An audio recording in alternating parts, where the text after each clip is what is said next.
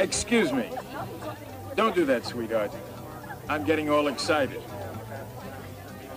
You must be... Linda Allen. I know. Our clever John Verdes brought you. Sometimes I think John is too clever for his own good. I'm Max Diamond. And what is your speciality? This? Want to cry. Just what I need.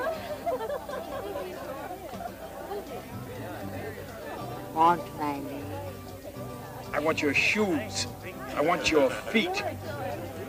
I want to feel your your heels digging into me. Take off my shoes.